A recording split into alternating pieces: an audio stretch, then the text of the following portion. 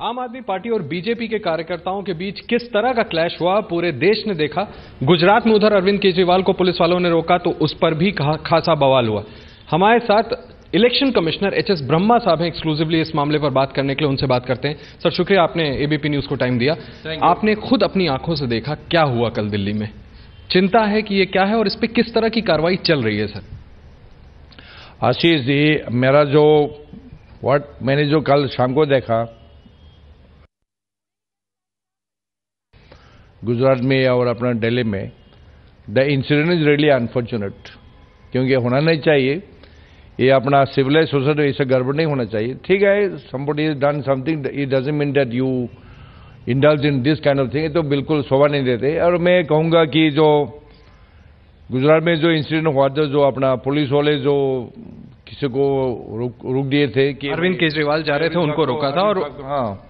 अरविंद साहब को रुक दिया थे कि पुलिस वाले बोले कि आपका ये already model code of conduct MC तो लागू हो गया पूरा हिंदुस्तान में।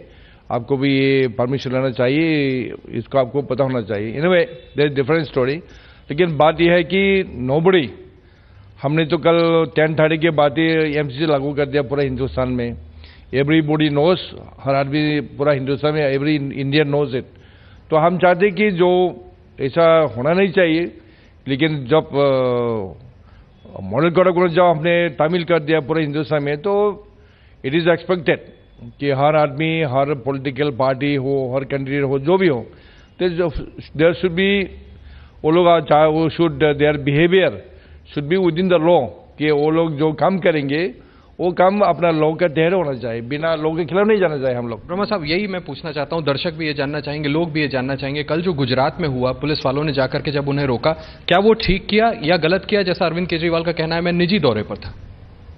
नहीं निजी दौरे हो या पब्लिक दौरे हो दूसरा बात है कि हमारा इशू क्या है हिंदुस्तान में लॉ है।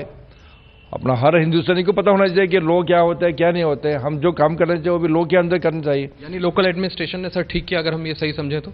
हम तो उनको तो हमको पता नहीं क्या प्रोवोकेशन क्या था या नहीं था लेकिन जो हमारा हिंदुस्तान में लॉ है हर आदमी को लोग का हर आदमी को उसके पाबंदी में रहना चाहिए। Model code of conduct was in enforce उस समय था तो आपको लगता है कि वो ठीक किया एडमिनिस्ट्रेशन ने? बिल्कुल कल दस बजे के बाद तो ग्यारह बजे के बाद तो लागू था पूरा हिंदुस्तान में था लागू। तो हमको ये हमको ये हमको देखना पड़ेगा कि उसका जो हमारा पुलिस वाले जो काम किया था we have to go in to their उनका जो एक्शन भी हमको देखना चाहिए लेकिन हम ये अपील करूँगा कि वंस अपना जो इलेक्शन कमीशन का जो मॉडल कोड कोटा पूरा हिंदुस्तान में आ चुके हैं तो हर आदमी हर इंसान हर सिटीजन ऑफ़ दिस कंट्री उनको हम वो अपील करते कि वो अपने लॉ की तरह लॉ के अंदर ही काम करे। यानी सर अरविंद केजरीवाल का ये कहना कि मैं निजी यात्रा पे था इसलिए कोड ऑफ़ कंडक्ट के दायरे में नहीं आता ये गलत बात है?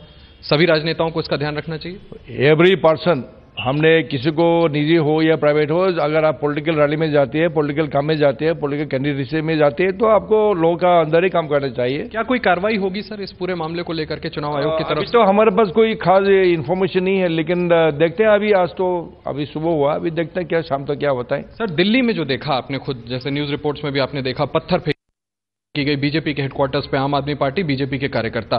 फिर लखनऊ में उसका रिटेलिएशन देखने को मिला। इसको लेकर के कोई चिंता और क्या चुनाव आयोग किसी तरह की स्ट्रिक्टनेस दिखा सकता है या आपके पावर्स जो हैं वो सीमित हैं?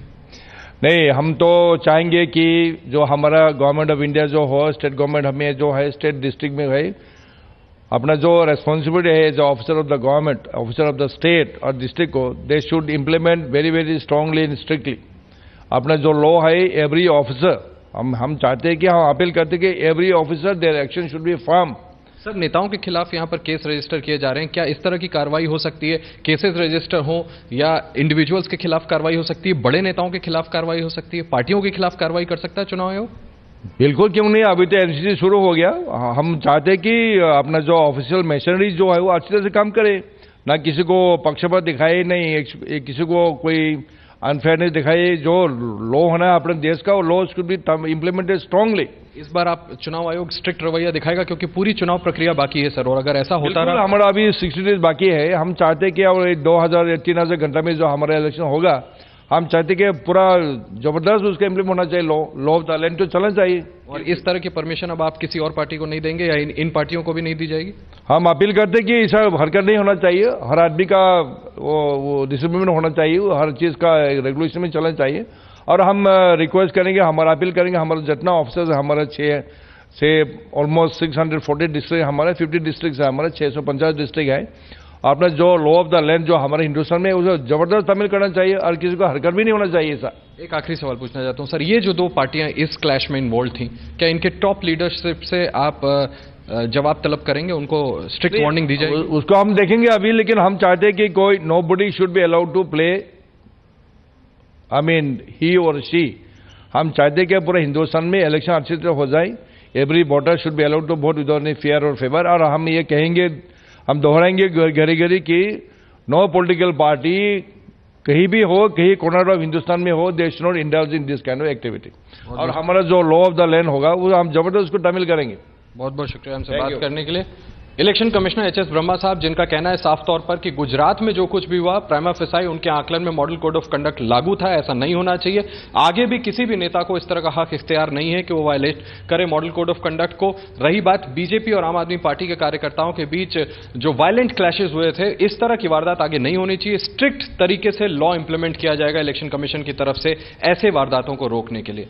कैमरामैन दिवाकर के साथ आशीष कुमार सिंह एबीपी न्यूज़ दिल्ली।